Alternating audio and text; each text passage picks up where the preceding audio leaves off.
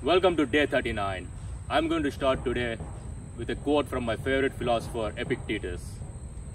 The only way to be happy in this world is to cease worrying about the things which are beyond the power of our will.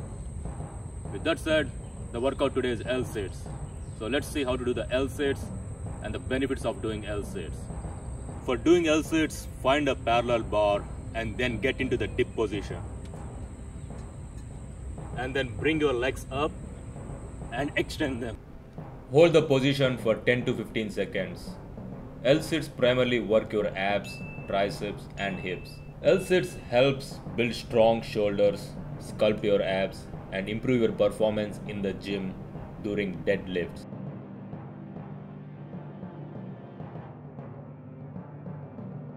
Thanks for watching. Subscribe, share and stay tuned for day 40.